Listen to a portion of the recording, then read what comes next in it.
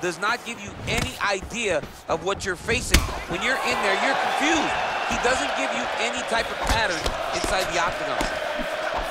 Good jab. That one appeared to stun him. Dude's hurt. Serve him up. Go get him. Oh, he might be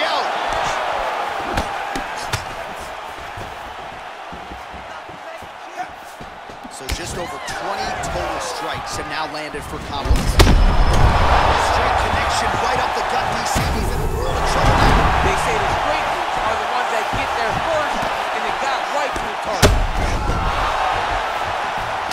Starting to do some really significant damage to the body here. Another strike lands there. Two minutes remain in the round. All right, so a nice job there defensively to raise the guard and prevent any damage. Those hands. Oh!